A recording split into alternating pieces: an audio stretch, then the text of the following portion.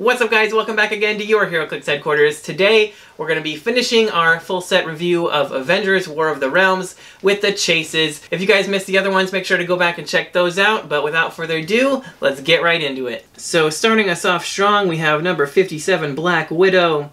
At 75 points, she's got uh, Avengers team ability, 5 range triple target, 9 movement with running shot, 12 attack, 18 impervious, and 3 damage with close combat expert. She's also got improved targeting for adjacency and a special attack power that says energy explosion and penetrating psychic blast. So that means she's going to be a big threat either up close or at range. Because up close she's going to have a 13 attack, 4 damage thanks to that close combat expert. And at range, penetrating blast or energy explosion, which could also combo with the penetrating blast to make the whole thing penetrating with triple target is pretty nuts. Um, now she also has this interesting trait that says at the beginning of your turn you may roll a d6 and give Black Widow a number of summon tokens equal to the result. Free, remove 6 summon tokens to generate a lurker bystander max 1. So I feel like on average you'd probably be able to do that like every other turn. Uh, and now the lurker bystander here, it's got Mystic's team ability, which is pretty interesting. It's got 8 movement with Flurry, 10 attack, 3 damage, and a 17 with Invulnerability. And a trait that says if an opposing character has been KO'd since your last turn, modify attack plus 2. If a friendly character has been KO'd since your last turn, modify attack minus 2. So this thing could have a huge follow-up attack if you happen to just KO an opposing character um, with a 12 attack flurry it's pretty nuts. so uh, yeah, and the fact that you just take a free action to remove the the summon tokens to generate him is pretty great because that means you can basically generate him whenever you want him. So you can wait until you get that KO, and then you could like move her into position, free, drop him, get that 12 attack flurry off. That's pretty great. I think for 75 points, she's pretty awesome. Um, now she does have a 50 point line where she starts uh, with a 10 attack and 17 impervious, and she just has four clicks of life there, which isn't bad. I mean, you still get that potential to generate the lurker. You still got, you know, penetrating energy explosion and the close combat expert, so she's still pretty decent for 50 points, but I think I just like her better for the full-on 75 uh, for that, like, three more clicks of health and the 12 attack and everything, so yeah, all in all though, she's pretty awesome. But moving on next, we have the Human Torch. Now, this one we saw in the Scott Porter unboxings. This is an amazing sculpt, by the way, on this Human Torch with the whole, like, you know, Eternal Flame cup thing, or goblet, whatever you want to call it, and he's just, like, coming out of there. Super epic. Now, he's coming in at 100 points, at full points. Um, he's got Mystic's team ability and Fantastic Four team abilities, 7 range double target, 11 movement running shot and flight, 12 attack, 18 energy shield, 4 damage with probability control. Great stats and powers right there. He's got improved movement and targeting to destroy blocking terrain. Uh, trait, the Eternal Flame of Destruction. Human Torch deals penetrating damage, so that's just all the time from any source. He's going to deal penetrating damage. And then free, choose a debris marker within range. Opposing characters occupying or adjacent to the marker are dealt one damage. And what's great about that is, you know, you can shoot, destroy blocking, or just straight up move through blocking and generate those, um, you know, debris markers, and then just take a free action to deal one damage. And that's going to be penetrating because he always deals penetrating damage. So even that will be penetrating damage. And then he also has a special attack power, poison, but deals damage even if moved or placed this turn. You gotta love that. You can literally just move this guy up, break down a wall or something, uh, free do the poison that's going to be penetrating, and then take the free to do a penetrating for everything adjacent to the marker, the uh, debris marker. So that's just a ton of free damage. Anytime you can do anything like that, it's great. And that's not even talking about just the fact that he has good stats and powers to be an actual like attacker or something, you know? Uh, now for 50 points, I don't like him quite as much. He starts with Sidestep, Energy Explosion, Toughness, and Enhancement. Uh, he still has, you know, the Eternal Flame thing, which is nice. I feel like you're going to be using that a lot more. I wish he started with the Poison uh, as well here, but he has to click into that. Uh, I don't know. He's okay. He's not horrible for 50 points. You can still move up, or even just sidestep, break a wall, free, do the penetrating from the debris marker, and then attack. Um, so, I mean, there's still a lot of things he can do, and the Mystics also, if they hit him, they're going to take penetrating. So, I don't know. All in all, I just love this Human Torch for just all that free damage. He reminds me a lot of the starter set one from the Fantastic Four Cosmic Clash starter set that did the free uh, anything he moved through, he could do one penetrating damage to something he moved through, and then he also had a poison that he could use after being moved. So basically just a really good upgraded version of that, and that one was already awesome. But moving on next, we have Doctor Strange. 75 points, Defenders and Mystics team ability, 8 range double target, 10 movement stealth and flight, 12 attack, penetrating blast, 18 super senses, 2 damage. Uh, improved targeting for hindering and characters is nice. And he's got a trait that gives him mind control, and when he uses it as range, modify attack plus 2, that's actually pretty nuts. He's going to have a 14 attack mind control. And then he's got outwit and prob there on his damage power. So honestly, 75 points is not bad for what he can do. 8 range double target, 14 attack mind control is obviously great. Now if you combo that with running shot instead of stealth, it'd be really good. Uh, I feel like the stealth kind of brings him down a little. I mean, it's nice, but like, I don't know. You just kind of have to sit there and uh, wait for them to get close enough to mind control. Uh, Outwit and Prob, though, is really good, so he's kind of, you know, a bit of a, a, support character, but he also can do a lot with the mind control. And he can always Penetrating Blast. He's got Penetrating Blast the whole dial. I wish he started with the 3 damage, though, so he could actually do some damage if he needed to. I don't know. He's not horrible, but he's probably my least favorite of the chases overall. And I mean, even the worst of chases is usually better than your average figure, so he's okay. Up next is number 60, Rocket Raccoon. Probably one of the better chases now. Only 50 points, he's got 7 range triple target. Uh, Guardian's team ability, so they can't mess with his stats. He's got 8 movement running shot, 12 attack, 18 with super senses, and 3 damage. Then he also has a trait that gives him plasticity, and opposing characters within 4 squares in line of fire consider Rocket Raccoon adjacent for movement purposes. So, I mean, being able to tie up people from 4 squares away is really good. And then he also has a special attack power that gives him Energy Explosion, and when Rocket Raccoon uses it after resolutions, give each hit character an action token. So, I mean, 7 range triple target, 12 attack energy explosion that also gives everybody an action token that it hits. I mean, that's pretty nuts for only 50 points by itself. Combo in the plasticity within 4 squares thing, and uh, he's already very good. And then, that's not all, he also has a damage power that gives him Outwit, and once per turn for all characters with this effect, when Rocket Raccoon uses Outwit, after resolutions, deal the target character one damage if it has one or more action tokens. So if he energy explosions a whole group of people, then he can also outwit, and if they have an action token from his energy explosion or just being moved or whatever, then he's going to also deal one damage from just free using the outwit. That's so good in my opinion.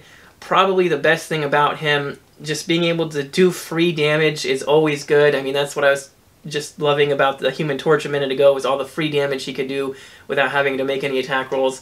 Um, in his case, it's penetrating, but for this Rocket Raccoon, it's just normal one damage. But uh, as long as you, I mean, you could always just outwit their defense power and then boom, free damage, right? So very good, very very good Rocket Raccoon in my opinion one of the best chases in the whole set, I think, because of all that amazing stuff he can do. Moving on next, however, we have number 61, Venom. 75 points. Uh, pretty average looking Venom dial. Well, average from what I would like to see in a Venom more often. 10 movement charge, 11 attack blades, 18 invulnerable, and 3 damage with exploit weakness. And uh, then later on he gets some flurry and some uh, steal energy, and then he gets some regular shape change because they no longer give it to them traded now, uh, but he does have improved movement elevated, and the new symbiotic fusion trait gives him plasticity and super senses. And Venom can't be targeted by ranged attacks if he's within four squares in line of fire of an opposing character. Um, so we saw that on all the Venoms in Empire. They're giving it to this one, which is great because that's such a good trait to have. Um, you'd be surprised how often that comes up. Once you get him, you know, in there, uh, they have to fight him up close because once he's within four in line of fire of any opposing character, nobody can shoot at him, even if they're, you know, can see through all the everything, all the terrain, and they have like a 12 range. It doesn't matter. They can't target him. Uh, so that's just really, really useful. And, you know, Super Sense's shape change invuln on the last half with some Flurry Steal energy definitely gives him some survivability. Uh, and, you know, Charge Blade's exploit, of course, gives him some damage potential up top. And then he also has power generate a Dreamstone Simulacrum bystander. Max 1. If Venom hit an opposing character this turn, this trait is activated as free instead. And taking a look at the uh, Dreamstone thing, 10 movement charge, 11 blades, 18 invulnerability, and 3 damage exploit. So it's literally his top click. At him at top click is the exact same thing you get for this uh, bystander, which is great. I mean, you literally could just charge in there, hopefully hit with Blade's exploit, and then if free generate that bystander to either charge on somebody else or hit the same person again, giving you kind of like a flurry thing. Uh, but you also have that you know bystander to kind of block line of fire. Um, or, you know, he, if he's within four line of fire of an opposing character, he can't be shot at anyway.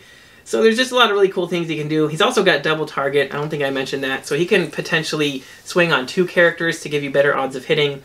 Um, so yeah, I mean, 75 points. As far as like Eddie Brock Venoms go, this is like the best one we've had probably. Um, except for maybe the Prime from Spider-Man and Venom Absolute Carnage. That one is really good too. But this one is great. I like this one a lot. For only 75 points, definitely worth it. Moving on next, probably the most sought after and one of the other best chases in the set, number 62 Spider-Man. Also coming in at 75 points. A lot of these chases seem like they're 75 points. Um, but anyway, Six range triple target is pretty nuts for a Spider-Man. Uh, he's got Spider-Man team ability, of course. He's got 10 movement charge, 11 attack, 18 combat reflexes, and 3 damage. Also a pretty great list of keywords as Guardian, Avengers, Future Past, Scientist, and Spider-Man Family.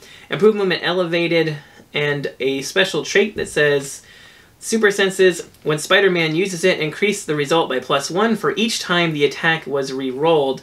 So, of course, if they hit him, you just prob it. If they hit him again, well, now he's got a 4 through 6 super senses. If you can find somebody else to prob it on your team, uh, or maybe if they missed and they had to prob it themselves, then it's going to get ridiculous. He's going to have like a 3 through 6 super senses pretty easy. And if you have him copy the Wonder Woman team ability, he could easily have like a 2 through 6 super sense rolls, which is just nuts. Now this guy basically just needs some type of like protection from outwit, so they don't just straight up outwit the super senses um, and he'd be basically impossible to hit. Because besides that trait and having his own probability control on his damage power, that also gives him and adjacent friendly characters safeguard probability control, opposing probability control, that is.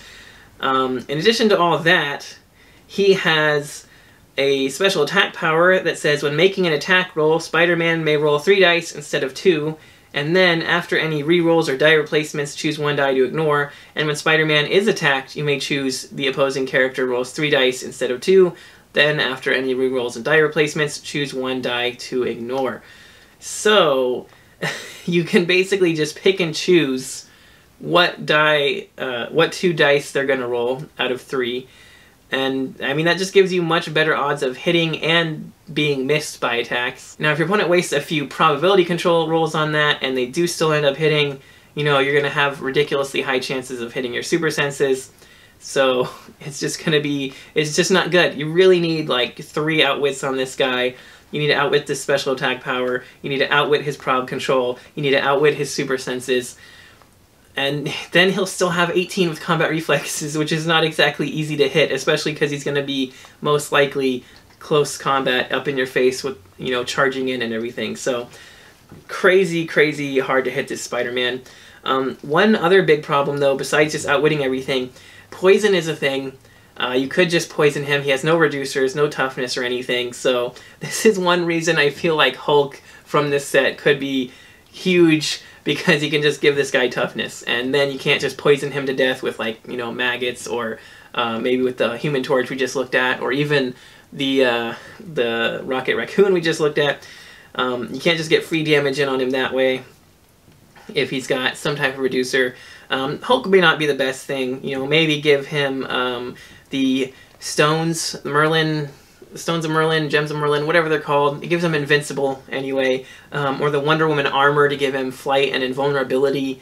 Um, so he definitely needs a reducer so they don't just poison him. But yeah, I could see this guy on a team with a Wonder Woman to, to copy the team ability and giving him uh, some type of reducer either from equipment or from somebody else giving it to him. Um, and then, you know, also you could make him power cosmic with uh, like Galactus on the sideline so he just can't be outwitted with any of those things. Or if you can find some other way to give him protection from outwit, that'd be great too.